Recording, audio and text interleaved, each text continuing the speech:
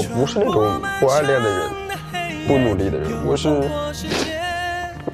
有可能被大家说的，我也不知道该怎么去做，也不知道听谁的。就别人都说我们是死亡小组啊。我觉得这我是十个班长中最头疼的那个，伤病的问题。这个我在进节目之前，我怎么都想不到有这样的情况。希望下次老师在看到我们的时候，会给他一个惊喜。如果有啥问题，我可以偶尔陪他练。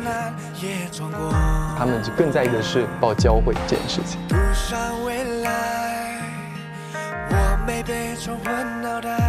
只为你毫不犹豫的去爱。拥挤的地铁有一站，不在乎过去，你陪我没遗憾。吃廉价的便当，坚持昂贵的梦想。每次认真，我从来不相信什么天生。很感谢有你陪着我，有你陪着我。Yeah, it's been a long time。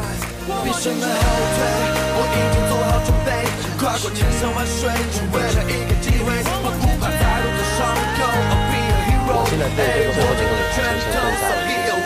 想不自己就对，用生命去捍卫。